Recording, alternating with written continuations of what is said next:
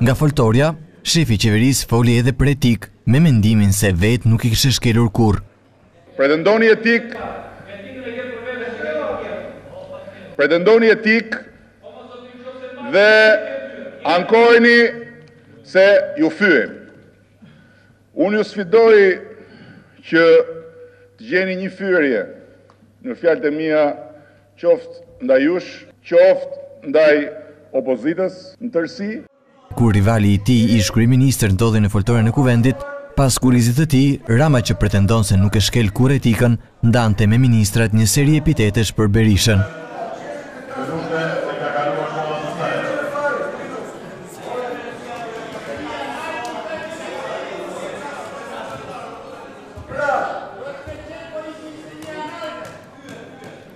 Ishte po i njëjti kryeministër që gjatë debatit me opozitën nuk pati ndonjë problem etik të fliste në sallën plenare të parlamentit për penise e për viagra, ndërsa krahu i tij vërtitej përpara kamerave në mënyrë elokuente.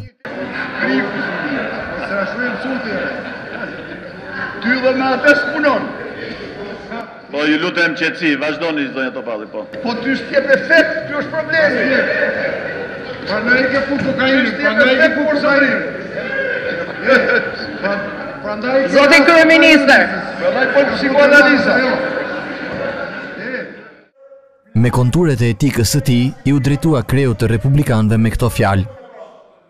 Nuk e kam fare personale që të kuptohemi se është gjynaf që për muzikën e keqe të fyellit t'i biesh brimës fundit të kavallit, po meqë je këtu në sallë. Einstein i madh ka thënë që dallimi ndërmjet gjeniut dhe budallait qëndron në faktin se gjeniu ka limite kurse budallai jo. Kryeministri kërkoi prova për etikën e tij, ne ia sollëm.